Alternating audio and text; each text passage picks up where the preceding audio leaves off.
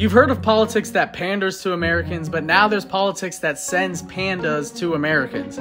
I know, I'm sorry, but yesterday during his summit with President Biden, Chinese President Xi Jinping implied that he'd be open to sending giant pandas to the United States. President Xi also made reference to a few pandas that were in United States zoos but recently made their way back to China, kind of implying that we might be seeing them come back. The action is being seen as a gesture of goodwill, and honestly, it's already working on me. Look at these pandas this.